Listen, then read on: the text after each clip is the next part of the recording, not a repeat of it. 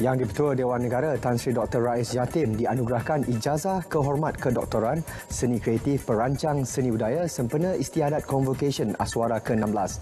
Penganugerahan atas jasanya merancang pembangunan dan pengembangan seni budaya tanah air.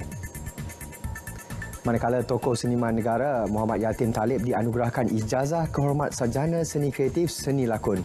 Ketokohan beliau menjadi aspirasi dan inspirasi kepada graduan yang kini menceburi dunia lakonan dan pengarahan.